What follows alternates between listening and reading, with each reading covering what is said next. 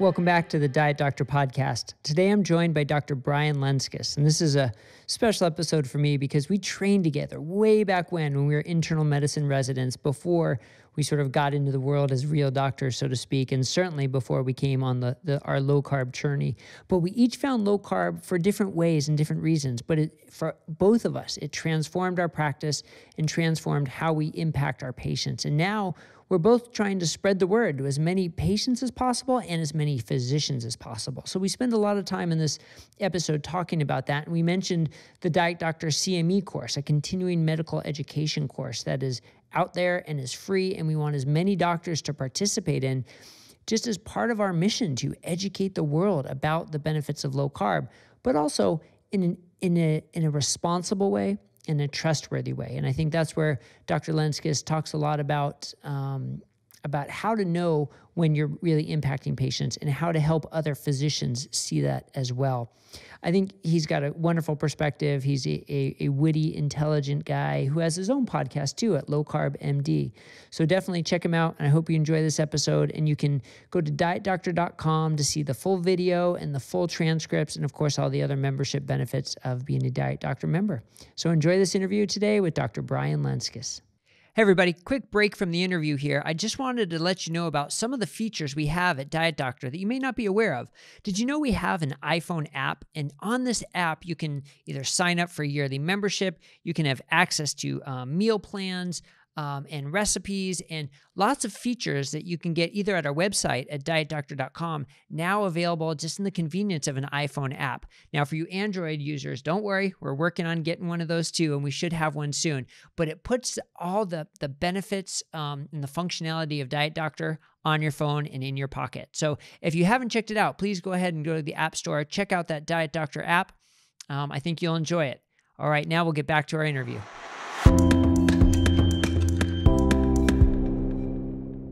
Dr. Brian Lenzkes, welcome to the Diet Doctor podcast. Brett, thank you so much for having me, man. It's an honor. Yeah, it's great to have you. I mean, I, I got to say, I love having all my guests on. Everyone's been amazing, but this is so special because we go back, gosh, what is it, like 20, 25 years here where we were residents together, just fresh out of medical school. Actually, I was one year ahead of you and you were an intern when I was a second year resident. And here we are, sort of learning to be doctors, this big, wide open world, and we're, we're learning so much about how to help people.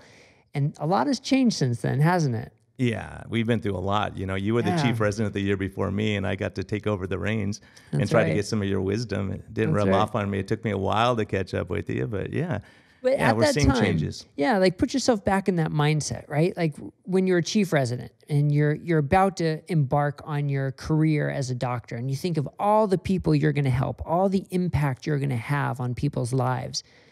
And then when you get out in the real world, sort of what happened? What did you notice when you first started practicing about the impact you were having? Well, we have our nice white pressed coats and we're they're going to save the world, right? And yeah. then I think once you get into the reality of life, you realize first of all, a lot of people aren't going to take your advice, right? And they're going to have their lifestyle that they're going to have, and they know it's detrimental to them, but they continue to do it. And then we try to fix that by throwing more drugs on to fix the problem. You know, so I think a lot of us get disillusioned. We talk a lot about physician burnout, and I think that's what we're seeing a lot because doctors think they're going to save the world, then they realize a lot of times people don't even listen to them. Yeah. Or if they do, we're giving bad advice. So we have to figure out how to help our patients again.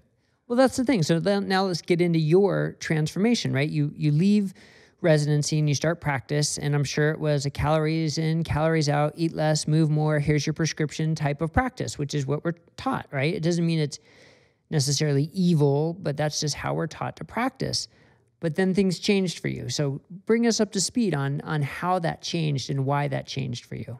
Well, for me, weight was always an issue. I come from a family where everyone has diabetes. They're from Ohio and they're eating their bad food. And they say, well, I'll just take some Lipitor and then I could eat all the cholesterol I want. I'll just shoot some more insulin and then eat all the sugar I want.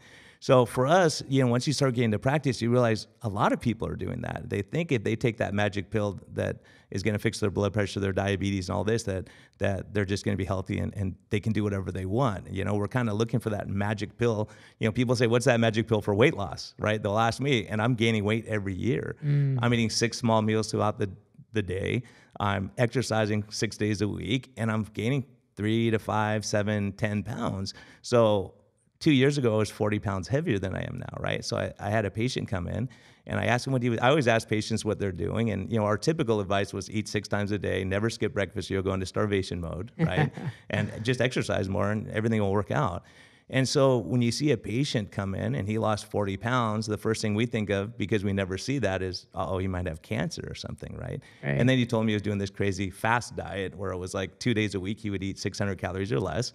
And the other days he would eat whatever he wanted. And on those two days, he would eat very low carbs. And I'm trying to figure it out from a medical perspective say, well, if you're eat if you're eating 600 calories the next day you must be starving all day and want to eat all day and he said no it's weird i'm not hungry he says, it's really strange. He said, I don't, I force myself to eat that next day. I said, well, that doesn't really make sense.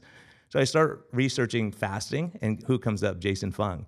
Yeah. Right. And so, you know, looking at that and him talking about insulin resistance, metabolic syndrome, and all these things that we're fighting with drugs. And he's saying it's a lifestyle issue, you know? So I, I started applying that to my life and I started losing weight and I started feeling better. My focus is better, my energy is better. And so I started realizing, gosh, I've been giving bad advice and I've been given bad advice. I remember when I first listened to Jason Fung, I said, if this guy's right, I'm going to be super mad because everything I've been doing has been detrimental. Yeah, let's right? talk about that for a second. Like, how does that feel as someone who has been giving advice to people? And that's our job as physicians to give advice to people to improve their lives. And all of a sudden, you think, oh my God, I've been doing it wrong and telling people the wrong things. Like, how does that feel inside you? Yeah, it's hard because that's what we were always told. Yeah. And when you find out there's no research that says, yes, this is the way we should do it, it's mostly opinion, and we just hand opinion down. We know in residency that the attending physician tells us how things are, and we just accept it as truth yeah. rather than looking at it and saying, okay, are my patients getting healthier or are they getting sicker? And am I getting healthier or am right. I getting sicker? So at some point, we have to step back and analyze that. I think I had the advantage or disadvantage of always struggling with weight my entire life, right? Because I played football and I wrestled in high school, so I would lose 40 pounds and gain 40 pounds because I was small to play defensive line. But I had to lose weight for wrestling because you have an advantage to be thinner. Right. So I always assumed I just messed up my metabolism during that time, and that was kind of a hopeless thing, right? And I would just always have to be struggling with it then ultimately getting diabetes. I think a lot of us think that we're just going to get diabetes, we're going to have to take blood pressure medicines and be sick as we get older, mm-hmm. right? So I think uh, when you start realizing, no, that's not true, we can reverse the shift, we can take steps and impact our own health. And it's not going to be a drug deficiency that we have. It's right. lifestyle a lot of times. Yeah. That is, one of the things I think is so interesting is this concept of admitting we're wrong, admitting we have been wrong. I mean, let's face it, when we were residents, we had amazing teachers. We had amazing attendings. They were they were smarter than anybody. They were great at clinical practice, but they only know what they'd been taught too. Right? So it's it's this teaching has been passed down and when you have that awakening to say, wait a second, maybe we're not doing this right, it's hard to admit. And I think the reason why I'm making such a big point about this is because one of my questions for you is how do we get more doctors to to realize that there's another way out there? But part of that comes with admitting we've been wrong, which is hard to do. So um, I guess I'm skipping ahead a little bit, but what's your experience been now that you've been practicing low carb, working with your patients, seeing success? how are other docs looking at you and, and reacting to you when they see what you're doing? Yeah, it's a process. You know, I think you have to stay the line and you make the points, you show the labs, you know, you go through and, and try to educate. That's what yeah. we have to do. The problem we have, like I was started to get to, is like a lot of docs have been thin, in shape their whole life, so right. they've never had the struggle. Right. Now I have Tro who's lost, you know, 150 pounds. I have all these docs who've struggled, then they changed what they were doing and they got better. So now they're obligated to tell their patients about it, right? So I think at some point you have to assess. Now, if it doesn't work, you know, we're always tweaking. I'm always tweaking my diet now. Say I'll, I'll add in fat, take out fat, I'll fast more, fast less, trying to figure out what works for me. I think that is the big take home message is there's not a one size fits all. So to have a food pyramid where you say everyone eats the same thing, it's what you can eat is going to be different than what I can eat. You know, I have to be super low carb to maintain weight. Otherwise, I'm a, on a, a trajectory tor- course towards diabetes. So I think that's uh, you know it's important. I think how do we reach other docs? I think by by being reasonable and bringing more docs who are reasonable into the fold. Right. When I heard about you doing low carb, I was blown away. Right. Because I thought, man, how can how can this cardiologist take this risk talking about low carb? Because most of us will just kind of keep it quiet because it's taking a risk. You know, when we first started talking about this stuff, no one knew about it, and it was certainly fringe. Yeah. Now you're going down the street. We were just talking about how you know you go to different restaurants and they'll, they'll have a keto menu now because obviously it's working, right? People are having benefit. And I think what happens for us is that uh, the patients are educating their doctors now. I got educated by a patient, right? Right. So if I told him he was going into starvation mode, well, he lost 40 pounds and I'm overweight, right? What am I, what am I going to tell him he's wrong? Right. Right at that point. And I thought, man, all the Melba toast I had and rice crackers and all these kind of things, you start realizing I was being, I was just spiking my sh- insulin and sugars up and causing myself more problems, not even enjoying it, drinking green shakes that I didn't enjoy in the morning because I thought I was benefiting myself with nutrients, right? Right. So I think when you start changing and, and seeing a difference, then you start realizing we have an obligation now to get the word out. So getting new docs, I think the more people like you who have credibility and weigh the evidence and it's not just an emotional reflex, you look at it because you have a responsibility to your patients. And I think more docs like that who weigh the evidence and say, wow, I think we've been wrong. Yeah. right? And here's what my data and here's what my clinical experience shows. There's value to that. Yeah, it's so interesting when you have the personal experience that then will set you on the course to help your patients. But if you don't have that personal experience, the the inspiration or the motivation needs to come from somewhere else.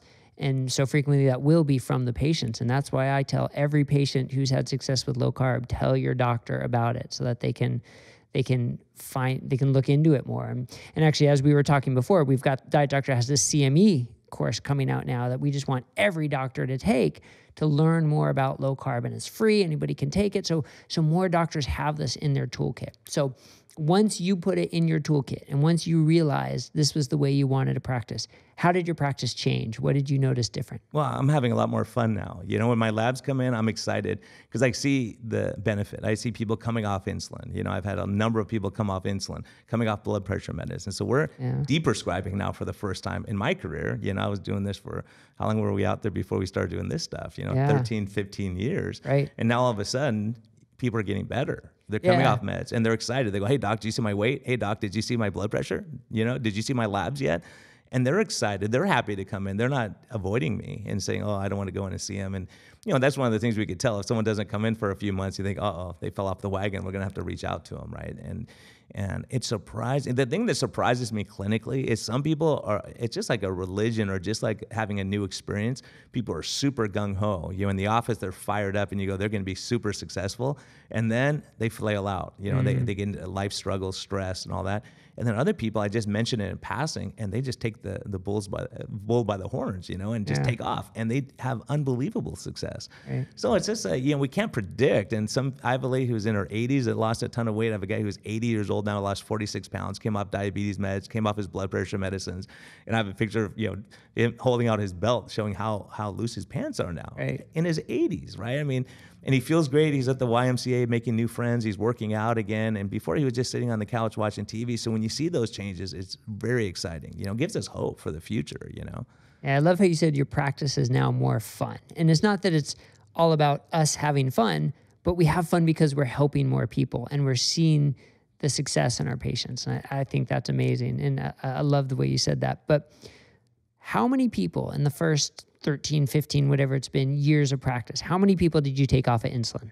Zero. How many people did you take off of blood pressure medicines, even? Yeah, we didn't. Not many, Yeah, right? it would be very, very uh, unusual Yeah. for that to happen. Zero. And the same for me. Like the concept of taking somebody off insulin was just like, no, you wouldn't even like think about it. But now, how often do you take people off of insulin? Yeah, it's happening frequently. And you know, I've taken people off and then they go back on. They go through a life stress. And now I have a lady uh, that went back on insulin for a little short time and now she's off it again. You know, Yeah. because she realized, oh my goodness, my diet makes a difference. Mm-hmm. When she went back to her comfort foods and stress, you know, re- reduction techniques that weren't healthy for her, then she realized now she's gung ho and going for it. You know, she realizes that she gains weight on insulin, she feels poorly, her energy's down, her mood gets worse.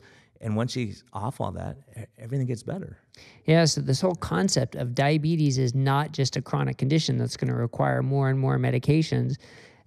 It's it, it was so new and uh, and now it seems not so new anymore, right? Like it should be commonplace. Well, I think people like Jason Fung, you know, Dr. Unwin, you know, when they have credibility, say these guys have credibility. I had to weigh it myself and look and say, are these guys nuts? Are they selling me a product? No, mm-hmm. they're just saying, look, I'm having benefit. I want to help other people.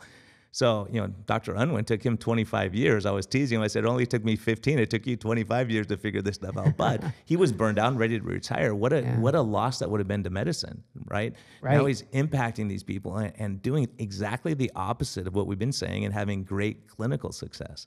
You know, so when you see that and you see he's a peaceful, you know, loving guy and his his patients probably don't want to disappoint him. So he has a better success rate, I think, than most people. But I think part of the problem is we've been told diet doesn't work because we've given bad diet advice. So they say, well, spend two minutes talking about diet, then tell them what drugs are going to fix the problem, right? That's just the way it is because that's the reality we faced. Right. But now we're, we're in a new paradigm. We're in a new era where we can uh, impact patients. You know, we can yeah. help them get along. And and I think when people hear, "Hey, I've had 15 people come off insulin," they think, "Well, why can't I do that?" There's mm-hmm. hope. And Dr. Unwin he talks about that of having hope to say, "Yeah, this isn't a, a chronic progressive disease. We can reverse it." Not we you're going to have to do it but let me help you with tools. You know maybe it's going to be getting more active maybe it's watching the stress getting enough sleep. It's not just one thing it's not just what you're putting in your mouth but it's the whole lifestyle approach that we're missing out on. Yeah great great point. We, we still need to talk about exercise we still need to talk about stress we still need to talk about sleep because those impact every part of your life and it impacts the decisions you make for your nutrition. So it's all interrelated. Um, but I, I, it's a good point you bring up about about Dr. Unwin. Gosh, that would be that would have been terrible if he would have retired before finding low carb and revitalizing his career. The other day, somebody asked me, "Come on, is he really like as nice and as kind and as gentle and as wonderful as he seems on his interview?" And I said, "Yes, that is him to the T. I mean, he is just such a wonderful individual, and like you said, a just a tremendous role model to say, "This is what I've done. This is how I've helped my patients. And here's the data. I love these collecting data and putting data out there. So let's transition to, for a second about low carb and data for physicians. Some can see it as as fringe. Some can see it as you know a total fad that is is not backed by science. But that's not the case. So again, why why do you think there's that disconnect that people aren't quite recognizing the data that supports low carb? Yeah, I think it's a hard thing. I think it's because we've seen so many fad diets come from TV doctors that have come and gone. Yeah. So a lot of docs say, "Look, I'm not wasting time learning about this because it's going to be gone in a year." Right. But it's still there. And when you look back at the history of medicine, you look at Osler. What did he do? They didn't have a bunch of fancy lab tests. They checked the urine for for glucose. And so they would put them in the hospital, cut their carbs until they weren't peeing glucose anymore. And they said, right. okay, this is the, well, back then they didn't know the difference between type 1 and type 2. And if you were type 1, you were going to die without insulin, right? So the, they started figuring that out. And so Osler, the, the godfather of medicine that we base all of our practices on now, was doing the same thing we're doing. So this didn't just start with with uh, Atkins. It didn't just start with with Dr. Unwin you know, Jason Fung, he didn't invent fasting, but he is the one saying, yeah, it's reasonable and here's why. So I think when you step back and you start looking, you say, well, this is not just a fad that's going to go away. Right? We're, we're in a major epidemic right now of diabetes, metabolic disease, and we have to fix that or we're going mm-hmm. broke, right? Uh, so I, I think the more people who see that are realizing this is not going away because patients are getting better. It's not like they're losing 20 pounds, then getting it back, and then losing 20 pounds again, then just staying on that same cycle, right? Uh, if we get people educated, they're going to the, you know, I always kind of joke about it because people ask about it, do you advertise? And I'm not even taking new patients anymore, right? But you get one nail tech or one hairdresser who's lost 80 pounds, how many lives are they going to touch? How many people are they going to talk to? And how yeah. many of those people are going to go take it back to their doctor and go, look, doc, here's what I'm doing. Mm-hmm. And so hopefully we're smart enough to say, okay, what we're doing is not working. It seems to be working. Let me at least look at that. Like when you mentioned the CMEs, right? Right. A doctor, even if they don't believe in it, they say, well, let me learn about it. So at least I'll be educated to say I don't agree with it and here's why. And uh, a lot of times people start out like myself. I looked into it to see how I can discredit it. Right. right? You're skeptical at first. You have to be yeah. skeptical. We have to. Sure. That's what we're called to do. And uh, once you start saying, well, I'm having clinical success, I'm having personal success, my patients are doing better, and I'm enjoying pra- the practice of medicine, and I'm doing what, like what I wanted to do when I had my fancy white coat, right? Mm-hmm. now it's dirty and, and beat up with ink stains, but we're helping patients again. You know, I think the more doctors who experience that, we're getting tons of feedback from docs who learned about it through their patients because yeah. they listened. You know, they sat there and in our defense as docs, we have 15 minutes with a patient, if that, sometimes eight minutes. How are you going to fix all these problems that quickly? You know, a lot of us run into lunch or we work late that night because there's a patient we know it's an upfront cost to us, but over time they're going to benefit. The patient's going to be, be better, and we're not going to be throwing a million drugs with with interactions and, and problems. Right. Right. Right. Yeah, such a good point. And you know, I think a big part of the issue. I, I started that question about the the evidence and and the evidence of low carb and why people have a hard time accepting it. I think part of the issue is is the outside world sees doctors as scientists and people who know how to interpret scientific studies well. Um, but that, gosh, that seems like it sure falls flat because we spend so much time talking about the power of nutritional epidemiolo- epidemiology or these observational trials um, and that's what's informed our practice for what 30, 40 plus years. And it seems like with the push for low carb has come the push for let's evaluate the quality of our evidence and, and see what we're basing our decisions on.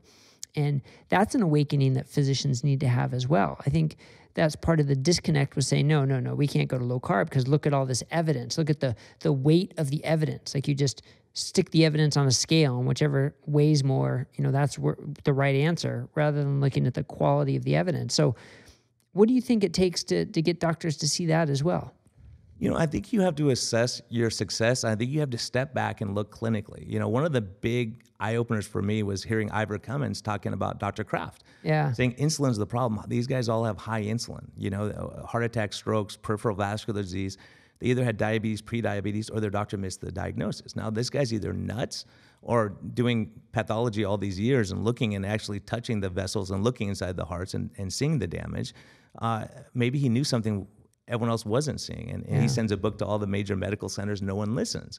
So I went back to my practice after that, after low carb San Diego, and I said, okay, let me look at my patients who had major cardiovascular disease, you know, early strokes, early heart attacks, multiple stents, bypass surgery, and every single one of them had a high insulin level. Yeah. See, if they did never checked before, right? Yeah, you I never, checked I before. never looked for insulin ever yeah. in my life. So when you step back and you look and say, "Wow, is that a uh, coincidence? I mean, is it just the odds? Maybe, maybe it's possible, right? So you can't say that's all of it, but you have to say this is contributing. You know, yeah. we're seeing an epidemic of these things, and less people are smoking and we're still seeing heart disease we're seeing all these other uh, factors involved and mm-hmm. you know obviously that's when you start saying how much is stress a factor how much are all the stress raises insulin levels not sleeping raises insulin levels so you start looking at lifestyle and saying okay like ben Bikman from byu says hey look lower your insulin level make your body as sensitive to insulin as you can right yeah. watch the stress level get enough sleep all these things we're talking about and then uh, we have to make those changes in our life right, right. At, at some point so i think as docs, we're not good at looking at root cause. You know, the, the engineers come in and make us crazy. They say, What's the root cause? Why do you get high blood pressure? Why do all these things run together? Right? It's not a shortage of medicines. It's like there's some underlying thing that's causing this problem. When the building falls, they look at all the structural problems that are the possibilities, and then they, they knock one out at a time. Us docs, we don't think that way. We just look at what we've been told and say this got handed down. And we have to understand most of our education is coming from drug companies also, right. who have a vested interest. So I had to step back and go, does Jason Fung have a vested interest whether my piece, people fast or not? He doesn't. It really doesn't. He doesn't make more money if I have my people fast, right? So I think it's those kind of things. You have to look at the, what's behind it and the money and and saying, gosh, who's out to help the patient? Right. right? Yeah. The, the concept of of follow the money is is so interesting because huge organizations like the American Heart Association, you know, sponsored by drug companies, sponsored by cereal making companies and snack food companies, you know, it, and it, it doesn't mean that just by donating, you know, they're dictating what's there, but gosh, why would they be taking money from those companies? There's just the the the perception of influence there is just uh, seems so backwards. And i think all the major medical organizations need to cut themselves off from pharmaceutical companies. But then you get into the low carb sphere right and the fasting sphere. And for the most part i think the majority of the people want to help their patients. But now it seems you, we can start to see some of that industry creep in some of that capitalism creep in. And it's hard to fault people but now people are pushing products. People are are are doing this for profit. Do you think that's going to sort of give low carb and keto kind of a bad name that like oh people are just doing this to make money off of it and it's, it's kind of devalue it? Absolutely. You know, I look at that. You know, I, I interviewed one of the top nutritionists around, and I asked her about heart healthy whole wheat and oatmeal. And I said, "What happens to my cardiovascular risk if I stop eating those things?" And she said, "Your risk goes down." I'm like, "But they say it's heart healthy." Yeah, compared to donuts and cake, right? Right. So it's a you know when I see a sticker on a box that says keto or or low carb or low fat or heart healthy, I avoid it. I, I don't eat boxed stuff generally, right? Yeah. So we're defeating the purpose, I think, when we say, okay, we're gonna have a bar. I think that's where we run into trouble in the ketogenic low carb sphere. Is we're saying, I like cookies, but I'm just gonna put an artificial sweetener and, and eat all the cookies I want. Or I'm going to have uh, uh, more cake, or I'm going to have my favorite ice cream, right? And we're doing that every day, all the time, right? And you're adding a ton of fat and calories, and and and then you blow it that night, and say, "Well, I'll have a piece of bread or whatever." Then you start wondering why it's not working, right? So I think there's a lot of that. There's going to be people making money off of it, and there there'll be good products and bad products and things that help, and th- there's things I believe in that I think will help people in a jam.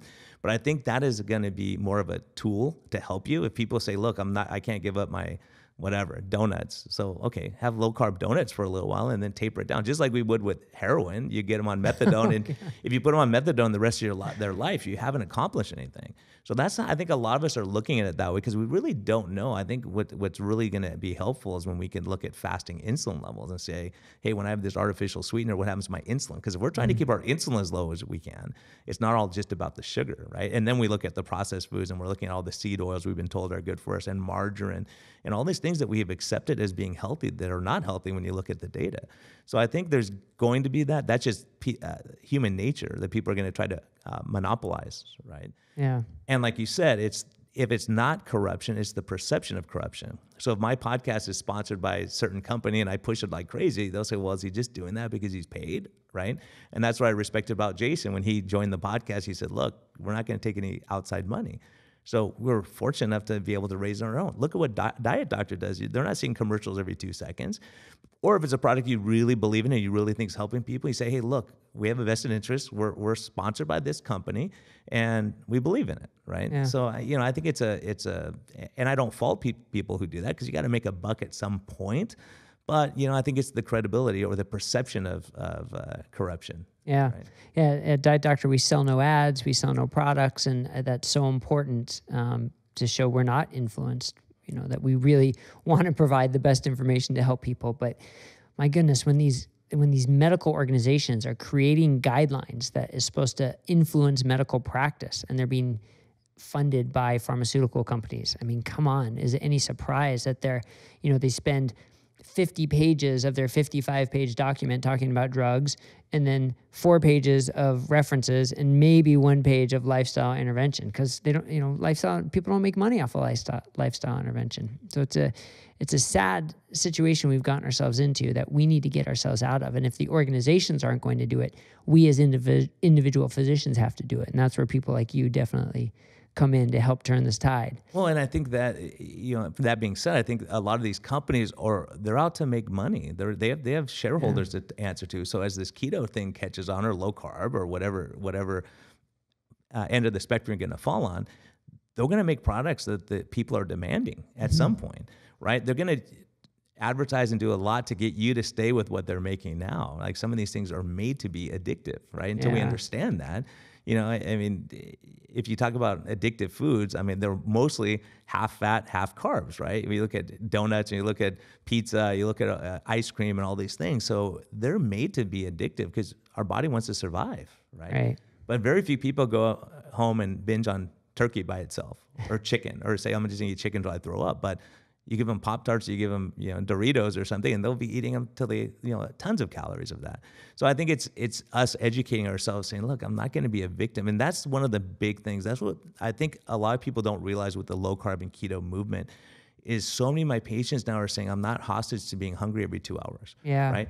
I can skip lunch and I don't die. And and I think the more we do those things and, and have benefit, it's it gets so much easier, right? Because if you talk to people about fasting, when Jason Fung talks about fasting, you know, I thought this guy's nuts, right? Who wants to not eat when you have food available? Right. But when you start understanding, like if I'm going to run a marathon, I don't start running a marathon the first day. You say, okay, I'll start walking, then I'll jog a little bit, then I'll do interval training maybe, and then you end up doing that.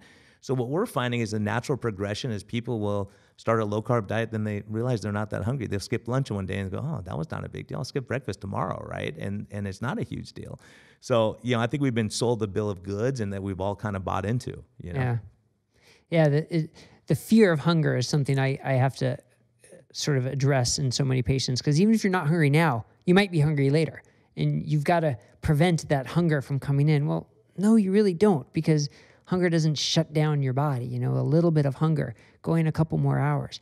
When you learn that it's not that big of a deal, it's really it, it, it gives you a lot of freedom. And like you're saying, low carb just makes it that much easier. That's why the the intermittent fasting, time restricted eating, and low carb is such a great combination, which it seems like you've had wonderful success with personally and with your patients. Well, I think when you have data and you have to look, and I've been impressed over the last several months for sure about how adaptable the human body is, right? Yeah. To think that we are so fragile that we have to eat every two hours in the history of man was never like this. You know, the farmers would eat a huge breakfast, work all day in the field, right? They didn't stop Yeah. every two hours to eat and shut Right. all the machines down and, mm-hmm. you know, yoke up the horses.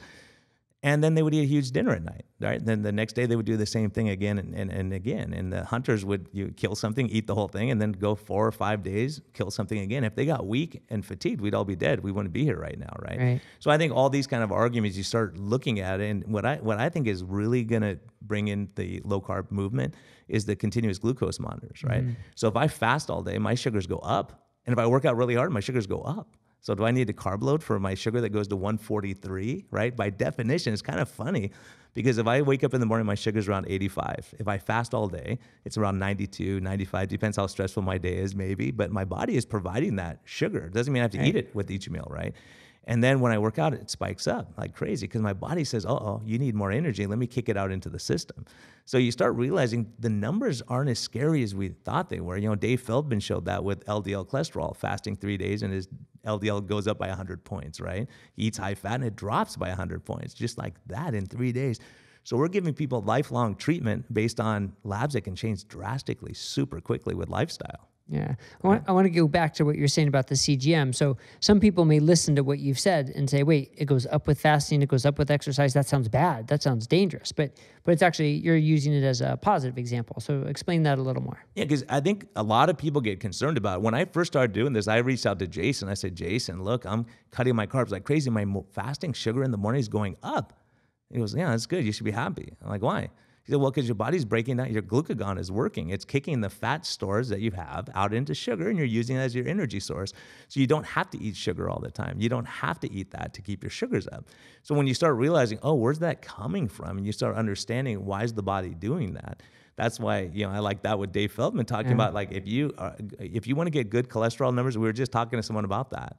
You know, for the weekend, eat a high fat diet. You add more carbs to your diet if you're low carb, and you'll drop your LDL like crazy, right? For the lab test, that's just it doesn't mean you're healthier doing that, but the labs look better. So the same thing with the continuous glucose monitor. When you start realizing how your body works and how adaptable it is, that I don't have to eat sugar all day long. If my sugar's staying in the 90s all day, when do I need to carb load that? And Yeah. especially if I, and I'm not diabetic, I'm metabolically healthy. Now, the caveat will be if you're not fat adapted, right? If you just all of a sudden start fasting, your sugars will drop like crazy because you can't get to your fat stores if your insulin's really high, right? So it's hard at first. That's why fasting has fallen out of favor because unless you're fat adapted, it's super challenging to fast. A lot of people want to do it for religious reasons, mm-hmm. but they're miserable the whole time because their body's saying, Where's the sugar? And they're freaking out because they are starving at that point, Yeah. right? So once they get fat adapted for a few days before they do it, they do a lot better, and it's more of a spiritual act for them rather than than uh, a penance, like a, they, you know, Yeah. torturing themselves. Right. It's a great point. It's not that you can't do it if you're not fat adapted. It's just not very pleasant. But if you're fat adapted, it actually can be pretty easy to do. So it's a big difference. Yeah. And and when again, not to harp too much on the CGMs, but I'm I'm as big of a fan of them as you are. So I love talking about them because I think once we get continuous glucose monitors available more often, it's going to change the way we practice medicine. It's going to change the way people live their life because they have that immediate feedback of what you ate and what it did your blood sugar, or not eating and what it does your blood sugar. And importantly, the area under the curve. And that's uh, that's something I talk to patients about all the time because if you wake up with a high blood sugar or it goes up when you exercise or it, g- it gradually increases when you're fasting what you're concerned about is sort of the area under the curve for the total day which is still far better than if you were eating carbs all day and having the spikes up and down. And also the the um, the amplitude of the spikes, right? So if your average is 120, but you're getting up to 180 or 190 sometimes and dropping down to 70 sometimes, that's not very healthy. But if your average was 120 and you stayed at 120 the whole time, and you stayed at 120 the whole time, that's a healthier way to do that. Now, with fasting with low carb, that's more along the lines of what your blood sugar's at, and then your average is going to keep dropping over time. So, I mean, these CGMs, uh, Apple keeps saying they're going to come out with a non-invasive one, and I can't, I can't wait until they do because that's going to be a total game changer. Um, do you find you're using them in patients even without diabetes, and that people are getting benefit from them? I am, especially when people aren't sure and they're they're Yeah. confused. As a matter of fact, it's funny. I have two uh, nutritionists that I take care of that are diabetes educators. So they came in, and the first thing they each said independently, they don't know each other, they're from two different systems. Each one said, What do you think of this keto stuff that's going around, right? And I said, well, I think it's great. Why? And we had this conversation. And each of them, their training is you have to have 50 grams of carbs with each meal Right. right? And and this isn't a diabetic, and I'm talking about non-diabetics. And so we got into the discussion. I showed them my CGM readings, and they were blown away by it. Yeah. And they said, "Well, what about this big spike you had?" Well, it, it spiked up when I was exercising. Yeah. Right? But if I ate something before I exercised, my sugars didn't spike that much because I had another energy source. I didn't have to tap in so much to my liver fat stores. Right? Not a good thing, but it it it made the sugars look a little lower. So I said, look, I'll, each of them, I said, this is your career. This is what you do. It's probably good for you to educate yourself. So why don't you try doing what I do for a week and then try to do the ADA recommended diet for a week and see what your sugars did. Yeah. And both of them called me and said, oh my gosh, now what do I do? Right?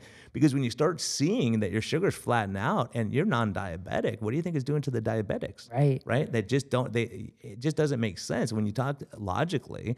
You start understanding that's uh, you know we're we're doing crazy stuff because the big concern when I started low carb, when you ask about how their doctors uh, responded, what they said, well, you're it's dangerous because they can get low sugars. How are they going to get low sugars? You know, because when you have that discussion, it makes Right. sense. Because we say, okay, how much, you, how many carbs are you eating for breakfast? Okay, shoot that much insulin to get rid of the carbs. And if they don't eat breakfast, what do you tell them? You don't give them any insulin because they'll get low sugars. And I said, well, once they eat eggs for breakfast, how much insulin do you give them? Well, none. But they can get low sugars from the long-acting insulin they're on. Well, why don't you taper that down, right? So once you start realizing we're giving insulin and shoving it into the tissues, right? Uh, it makes a lot of sense not to eat as much, you know, to cut your sugars as much as possible to decrease the amount of insulin. The only difference is we're shoot, someone's shooting insulin versus someone who's producing it from their body, right? Right. So either way, we benefit from decreasing our our body's need for insulin. Yeah, and that and that's a good point about this need to deprescribe, and doctors need to be aware of that, and that's a big part of our push for the CME course because all it takes is one doctor to say, "Oh yeah, sure, you know, you're on insulin and you're on uh, SGLT2 inhibitor. Go try this keto thing and see what happens." Then the patient gets into trouble because they're not being monitored well enough and they're not adjusting their medication. So that's why there there is a certain knowledge base that needs to happen for people who are on diabetes medication specifically. But for people without it, it's a lot easier uh, to implement this. Uh, but that's you know I, I also I've I've got a couple patients who who love the CGMs for the behavior modification part of it. Like that is your um, that's your little angel or your devil on your shoulder when you see what your blood sugar does or you know what it's going to do when you're you think about eating something different that it it makes you say hang on a second maybe i don't want to do that because that psychological part with that immediate feedback and it's it's something that we've we, we don't have right now. We don't have a tool other than the CGMs, which can be really expensive for people. Um, so I don't. I think that's going to be so helpful when we do get that because uh, that behavior modification part is a big deal. Yeah, and I think that's uh, that's part of our system problem. Is look, how much does it cost? Continuous glucose monitor costs about hundred bucks a month, right? How much do you save in insulin use? How much do you save in other medication use? And looking down the road, amputation. You know, the number one cause of amputation, number one cause Right. of kidney failure, number one cause of blindness, number one cause of heart disease. Right? This disease is major, and until we look at it and say we got to invest up front to prevent these problems, you know, until we change that, we're in big trouble as a system, right? We got to figure that out. Right. Right. All right, so let's transition for a second here, though. Now, you you're you're awesome on Twitter. I've got to say, you you're incredibly witty and funny and poignant, and and point out some great. Um, your your tweets just are are very um, timely, and they they really impact people. I think, and you post some great success stories about your practice, and there's uh, it's so positive But, and here comes the but, there's there has to be some cases that don't turn out so great, right? There has to be some cases where people struggle or they don't do well. Um, so what have you seen there that you think people can, you know, learn a little something from about how to maybe avoid that or or, you know, ways that they can help? Yeah, I think we're in a big learning curve right now. I think we're at a point where why do some people do great? You know, some people flail out. And you know, I think until we start looking at, at carbohydrates as an addiction, Rob Cywes totally changed my views on this. I argued with him. He's a gastric bypass surgeon. For people who don't know who he is, one of the most brilliant guys around, um, uh, trained by Tim Noakes, who knows a little bit about this stuff. Mm. But he says, look, it's an addiction problem, right? He said, why else would you fill up on steak and be totally stuffed and you can't take another bite? You send the steak away, and then they bring your favorite dessert, and all of a sudden you have a bite or two. Why? You get the dopamine re- release. Uh, so there's definitely we have we say I'm addicted to chocolate. We say these things, but people don't really believe in the addiction part of it. So that's a huge, huge deal, and that's why when you talk about the artificial sweeteners and all that stuff, you know, it's one of those things. If we're using it as a crutch to get you off of that sweet taste, but eventually you have to get rid of that sweet taste that you're craving all the time, right? And so I think th- there's a lot of people that's just. I'll give you an example. I have a lady. She's I just saw her for a pre-op for gastric bypass surgery she works at the hospital, and we put her on a ketogenic low carb diet. In the first month, she lost eight pounds, right? She resolved her, her hot flashes she has all the time. Her back pain got better. Her anxiety got better. All this stuff got better in one month. With only eight pounds. With only eight pounds of weight loss. So yeah. then I saw her in three month follow up, which probably was a mistake on my side, right?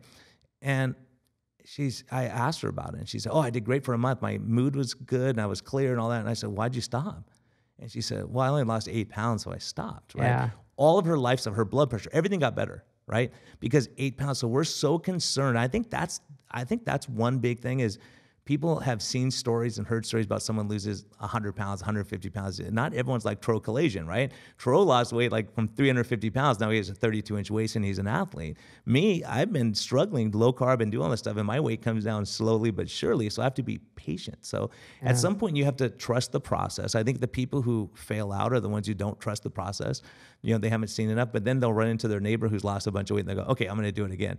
But then you realize, hey, you don't have to eat butter all day long. Do you want to burn your own fat or do you want to eat butter as your fat source, right? So I think it depends where you're at. Someone who's lean and fit like you can get away with a lot more than I can get away with trying to get down, right? It's kind of, I tell people it's like a, when you're trying to uh, keep your car running, right? Some people just need a little bit of a tune up. Some people just need an oil change. Some people need a major overhaul. Right. So I'm going to manage you differently if you're diabetic and your sugars are 350 compared to, you know, if you're, you're five pounds from your goal weight, right? So we all are going to have a different approach we're going to have to take. And I think a lot of us on Twitter, getting back to that a little bit, is we battle it out over the minutia, right? The minutia, because you're going to figure out, look, whether you're vegan or whether you're carnivore, you cut out the garbage processed stuff in the middle, you know, the, the bad seed oils and, and those kind of things, and you do better. And then you fall on whatever end of the spectrum you're going to fall on, right? Based on your preferences. Uh, it doesn't mean you're an idiot because your diet's different than mine. So you see these things on Twitter where people get into huge cussing fights and you know bring up personal stuff about being divorced or whatever it is it's totally outside of what we're talking about right yeah. we, we get distracted from what the original point was so i think you know it's those kind of things where we, we start seeing um, uh, you know we're, that we're all individuals and i think the big thing I've learned is it's not an, a one size fits all. It's an yeah. N of one for you. What works for you, right? If you say, hey, I eat meat twice a week and I feel great, perfect. If you eat it once every five years and you feel great, perfect, whatever.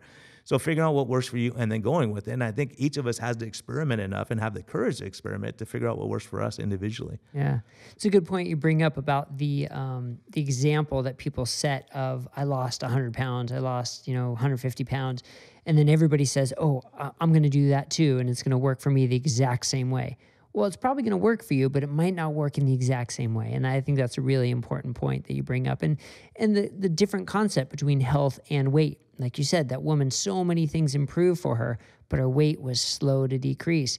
And it's when you if you focus too much on weight, you can sort of lose the health benefits. And a lot of the times when I talk to people, it's about being patient and being patient and pointing out all the benefits that come along the way besides just weight. So I think that was a great point you brought up. Well, and just to put a punctuation mark on that. I have a guy he he's Italian, which is a tough sell for keto, low carb, and and he was at the point where we were maxed out on his oral meds. We had to put him on insulin, or he had to change his lifestyle.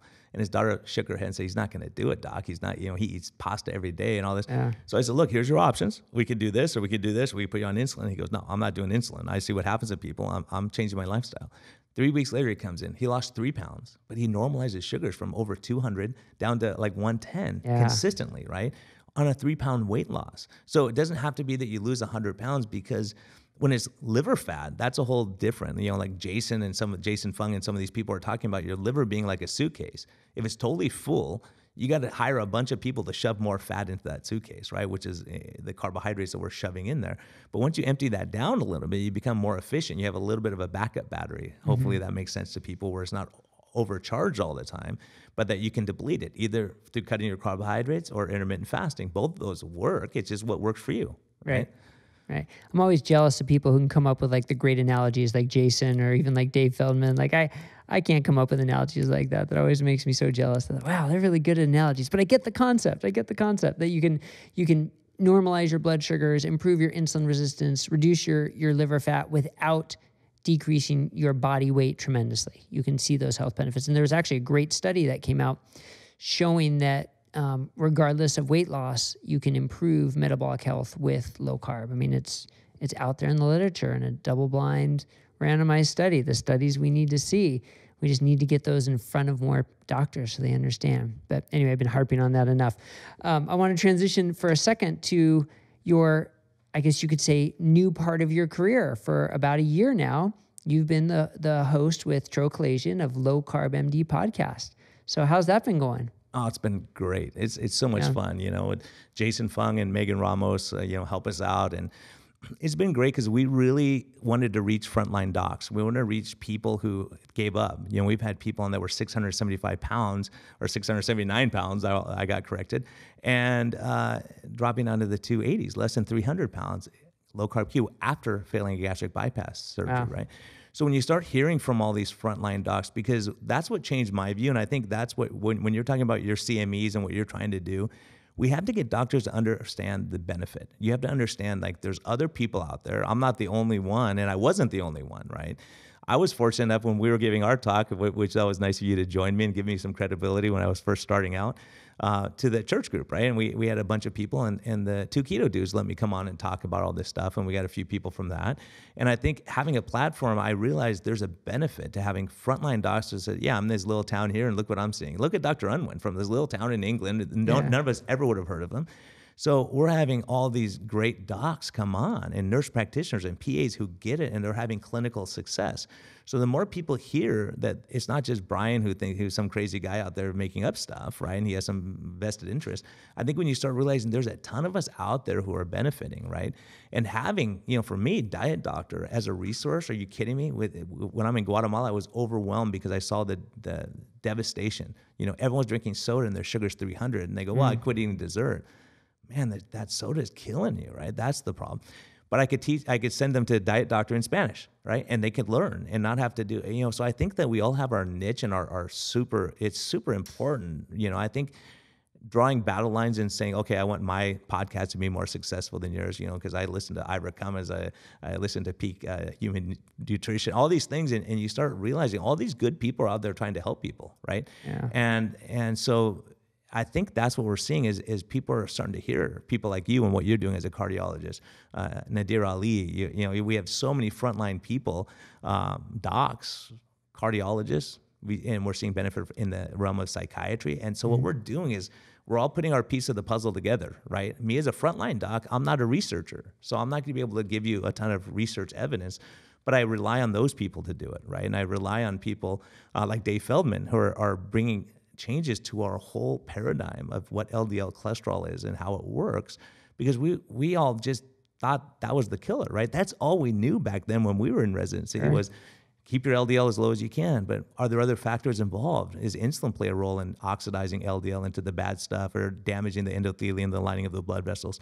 So I think all of us are starting to put our little piece of the puzzle together, and we all need each other to make that happen, yeah. right? So I, you know I, that's what I think is exciting is seeing you know this whole having our podcast and the success with, you know, we don't have a fancy setup like you with, with all cool stuff and you get it all. I mean, this is super awesome. Uh, Tro and I just throw on some headsets and start talking to people, right? Because we we believe it's the content, right? It's the content. Sure. We want to get out to as many people, and we we self fund, so we're not taking uh, uh, kickbacks from anyone, anything like that. But we can bring on people who have new products that might be helpful because we have no vested interests, right? Other than saying, hey, this may help you as a tool. And I think a lot of us are, are doing those kind of things and saying, hey, there's other people doing this. And I think for us, the vested interest really for ourselves is having more docs out there, and that becomes the standard of care. Yeah. What we have to do is change the standard of care because what we're doing clearly isn't working. Right. Right. So doing more of the same just isn't going to work. It's yeah. just not going to work. I'm telling you. So we have to change. And when you start seeing success stories or hearing, you know, stories of people controlling their seizure disorder on a ketogenic diet, they're real people. It's not a before and after picture that we could doctor. This is their story, right? Yeah. So the more you hear these stories and you see the docs who who've sacrificed, who've been through a lot, you, you hear about get Gary Fettke, right, and what he went through, and Tim Noakes I mean, they. I'm not a conspiracy theory guy, but they just got, you know, uh, they went through a lot.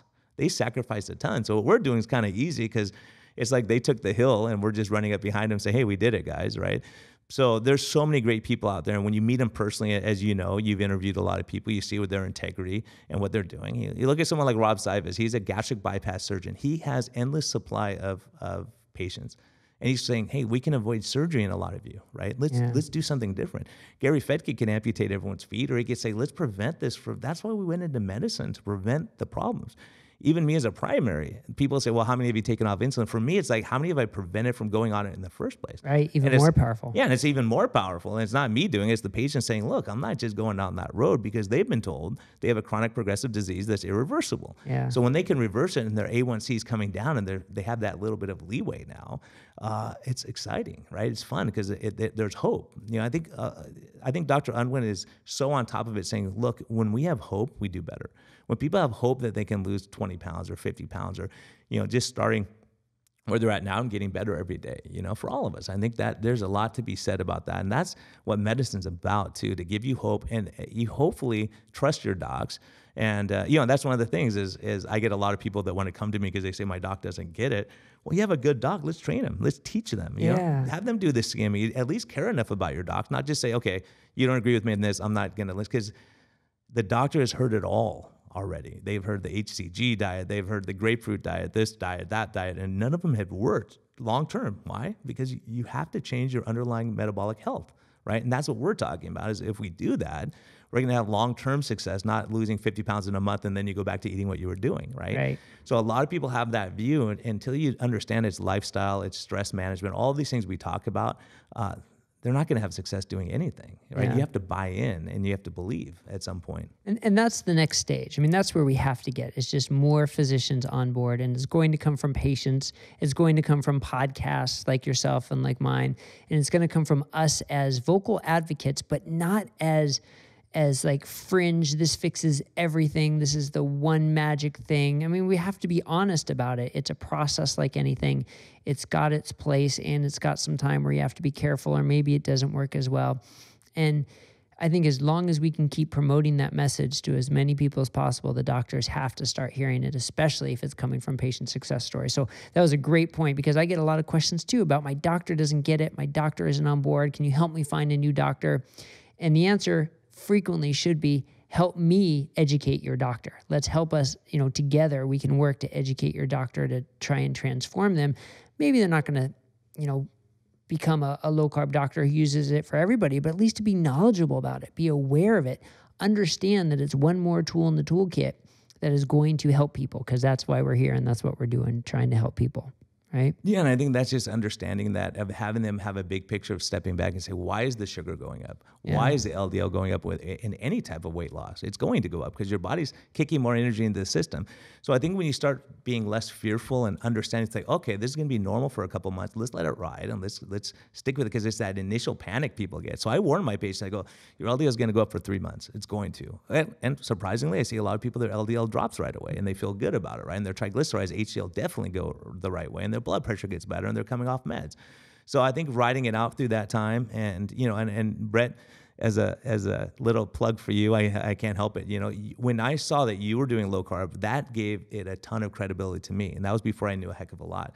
Because I know you look at the data, you assess things, right? You're not just going to jump on the latest fad that's happening, and you play the devil's advocate. and You go, what about people who say this? What about people who have this concern? I think that there's value to that because we have to understand enough to either defense what we're saying or realize there's no defense for certain things. Say, yeah, that's not a good situation for this pro. It's not a one size fit all, right? So, and I think that's really important where you have reasonable people who say, let me weigh the evidence and show what the evidence shows, right? So I felt a heck of a lot more confident when you were doing this too, that I wasn't in the boat by myself, some primary guy, care guy doing this stuff. But when you start seeing all the world experts who've looked at the data and say, I've weighed it and I'm looking and I'm looking at clinical experience, putting them together and saying, there's a problem. We got to fix this thing, yeah. right? So I appreciate you saying you, that. Thank you. All right, thank you. Am I blushing? Can you see? All right. Well, I, I, appreciate that. Well, this has been great. I really enjoyed talking to you about all this and getting your experience. And I highly recommend people check out Low Carb MD podcast and to follow you on Twitter because, like I said, you make me crack up at least once or twice a day. It, it's great. It's great. But where else would you recommend people go to find you? And any last words for our audience? Yeah, you know, I'm not accepting new patients now. I do do some consulting through uh, Low Carb Advisor. Um, for people who are just trying to get on track to understand lifestyle and health and, and what their labs might mean and help hopefully work with their doctor to educate the doctor. And that's one of the good things. I know you were doing that for a while too. And yeah. when you educate the doctor, go, look, here's what it means. And I think so a lot of us, our value is going to be in educating the doctor. Then what happens is as you have more doctors, then we're not in so much demand, right? So that we there's enough sick people to go around. And so the more of us we get in, we realize our system's in trouble.